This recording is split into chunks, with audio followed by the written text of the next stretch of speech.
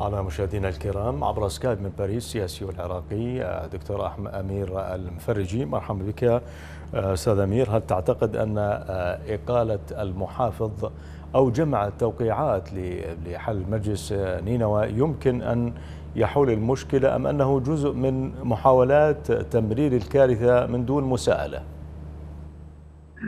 مساء الخير وشكرا على الاستضافة. حياك الله. من الطبيعي إن ما حدث في العراق فيما يتعلق بفاجعة الموصل يتحملها النظام السياسي العراقي منذ 2003 لأن ما حصل اليوم في مدينة الموصل والتي تعتبر هي يعني مدينة مصغرة لما تمثله للعراق بصورة عامة. ما حدث اليوم في البرلمان العراقي من تنحية المحافظ ومساعديه ليس إلا يعني غض النظر عن الشعب العراقي عن ما يحدث في العراق لأن ما حدث في الموصل لم يحدث بهذه السهولة ولم يأتي بقضية القضاء والقدر كما يعتقدون وإنما هناك أسباب.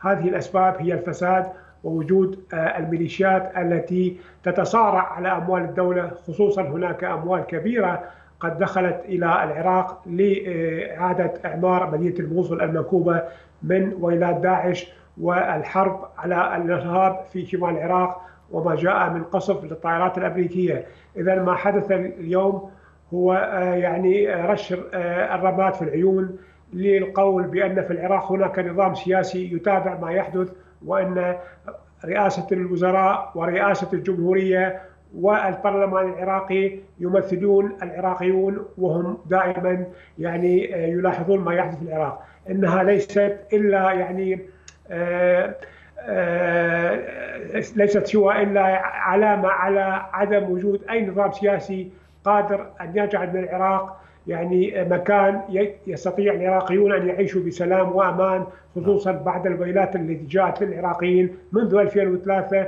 مرورا بداعش واليوم بفاجعة عبارات الموصل. المنظمة العالمية لحقوق الإنسان طالبت بفتح تحقيق بشأن الفاجعة. هل تستجيب الحكومة برأيك لهذه المطالبات؟ مع حديث عن فساد كبير يكتنف هذا الحادث. لا شك أن المشكلة في مدينة الموصل هي مشكلة غياب الدولة التي تستطيع أن تسيطر على أمور يعني مواطنيها في هذه في هذه الأمكنة. ما حدث وما لاحظناه من يعني التداعيات التي جاءت بعد هذه الفاجعة الأليمة التي حلت على العراقيين جميعا هو وجود نوع من يعني الخصام السياسي وعلى ثروات العراق بين أناس وبين يعني أحزاب تريد أن تسيطر على الوضع الاقتصادي في المدن العراقية. وجود ما سمي بعصائب أهل الحق أنا في نظري له دور كبير في يعني ما حدث في البصرة في الموصل لأن وجود هذه المكاتب التجارية التي تمثلها هذه الميليشيات يعني نستطيع أن نقول لها دور لما تمثله من يعني عناصر خارجة عن نطاق الدولة العراقية. والدولة العراقية هي نفسها لا تستطيع أن تتحكم بما تريده هذه العصائب وهذه الميليشيات. إذا ما حدث في رأيي هناك بعض المشاكل ويعني التداعيات الشخصية والسياسية التي لها الأثر الكبير فيما حدث في مدينة الموصل وما سيحدث في المستقبل في كافة مدن العراق على ما أعتقد. يعني هناك من يرى أن فاجعة الموصل كشفت عن كم الفساد الذي يغرق فيه العراق.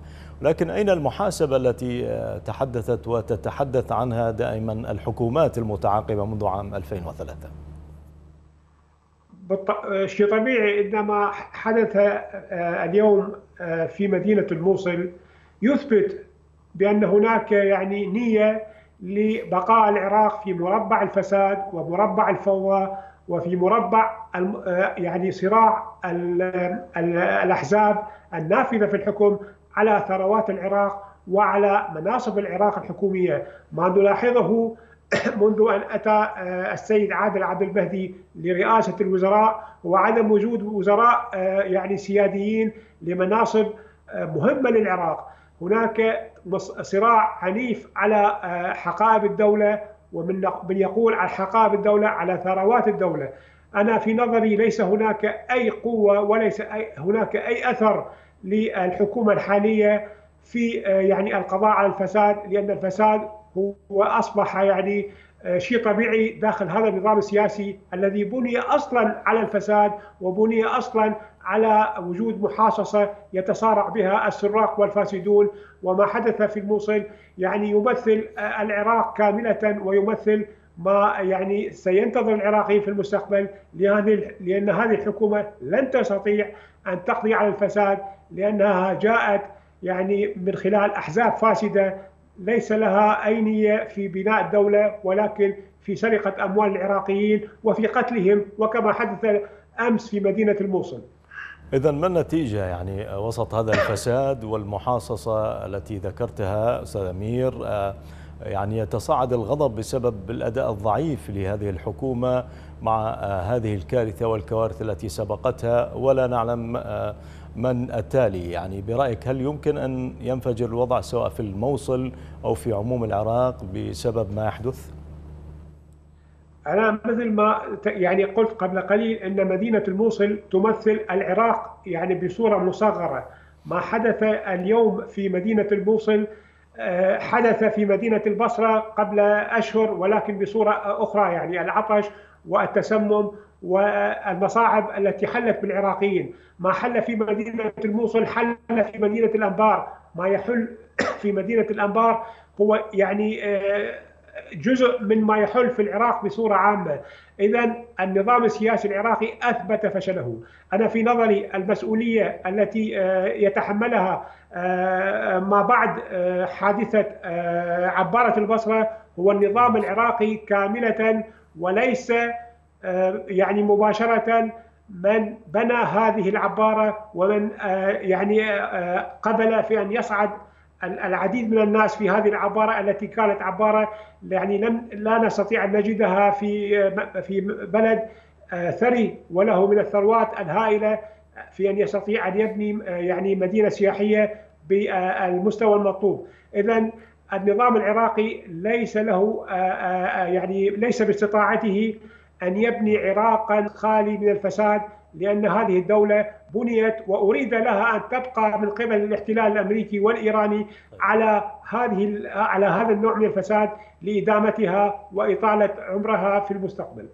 شكرا جزيلا لك عبر سكاب من باريس سياسي العراقي أمير المفرجي